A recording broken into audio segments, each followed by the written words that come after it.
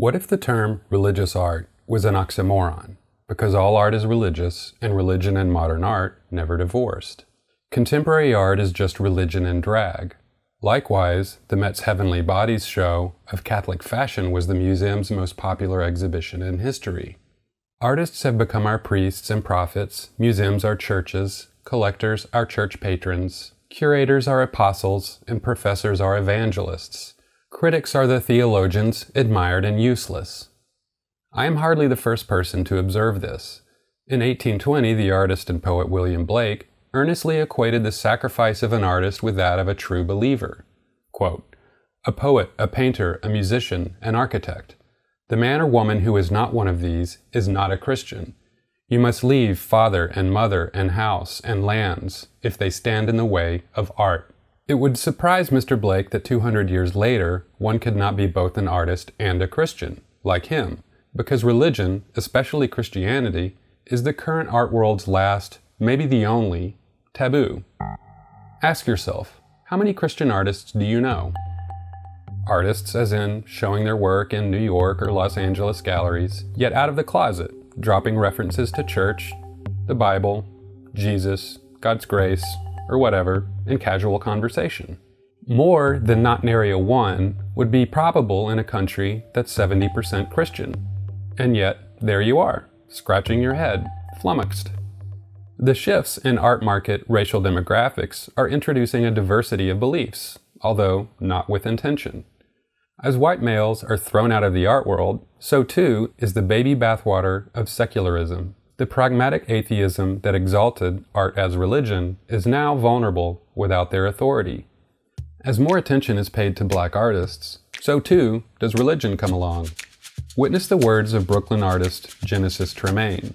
In a recent ArtNet podcast, host Katie White asked Tremaine if she was, quote, breaking the mold in being openly Christian with no hesitation. Oh, sister, I really don't know how to be quiet about this. I can't help it. God's really good. I don't know what else to say. Is I feel like anything else would be dishonest, you know? I do live a prayer life, you know, as best I can. We live in a world where I get to be completely honest about my relationship with God. But is she breaking the mold? Not exactly. 73% of black people pray at least once a day. 87% of black women say they turn to their faith in difficult times. Tremaine's views are only novel in our stridently secular art world. Otherwise, her faith in God is as ordinary as Harlem on a Sunday.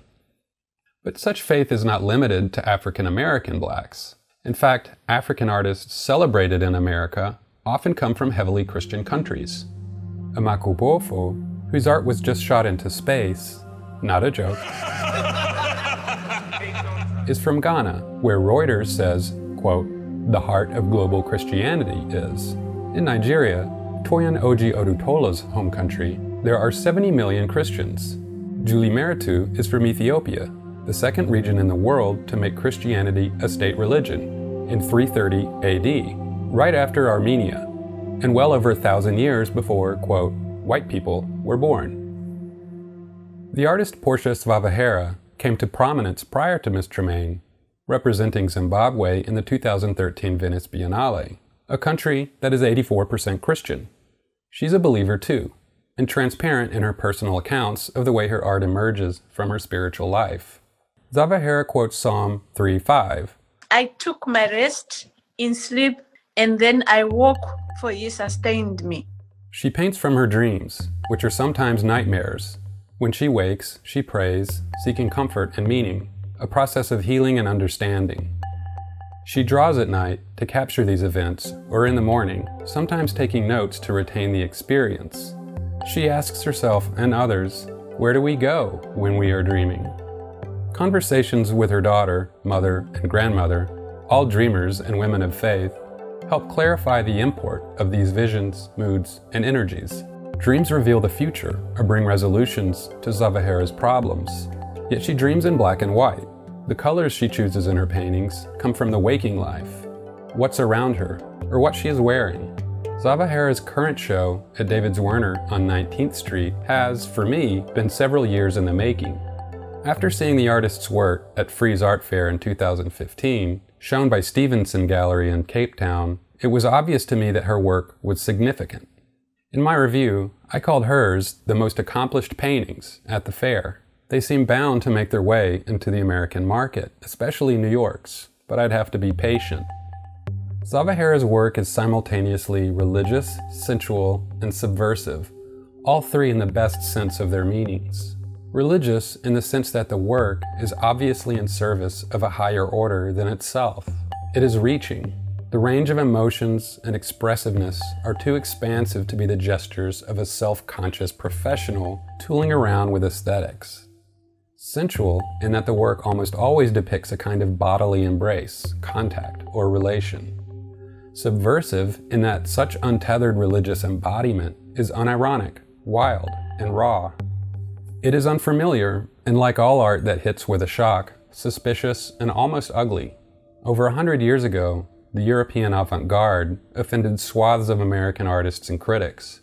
Picasso and Matisse foisted upon them female nudes offensively distorted and jagged, and in impossible colors. Contemporary figuration, or especially black figuration, is in reverse, inclined toward pre-modern academicism for its legibility, warmth, and sense of honor. This is what the European modernists found African art able to destroy. Zvavahera was 17 when she first saw a human in a painting.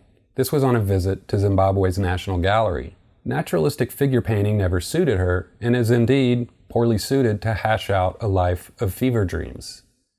In dreams, objects elude us, identities of people change, environments morph, and time is confused. The only way through is to adapt, or watch, or wait. In fights, you never win. It is tempting to romanticize Zvavahera's work as, quote, African, with a fetishistic eye, orientalizing its allure. Yet the localized nature of her work, an African Christianity centered on maternal discourse, praying to God for protections from demonic spirits is not the stock in trade for grungy studios in Bushwick or sanitized galleries in Chelsea. Yet here it is, and it is real.